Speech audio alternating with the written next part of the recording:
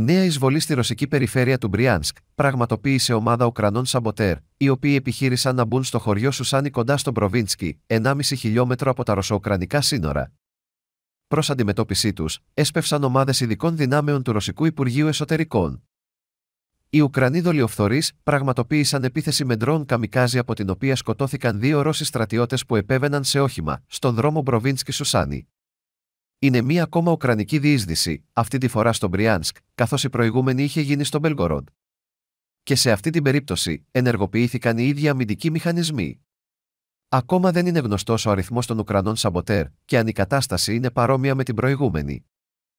Οι Ουκρανοί μετά την τεράστια ήττα στο Μπάκχμουτ επιχειρούν να προβούν σε κινήσεις εντυπωσιασμού, αλλά και να δημιουργήσουν τρόμο και πανικό στους ρωσικούς πληθυσμούς των συνόρων, για να αναγκαστεί η Μόσχα να αποσύρει δυνάμεις από την Ουκρανία και να φυλάξει περισσότερο τα σύνορα της,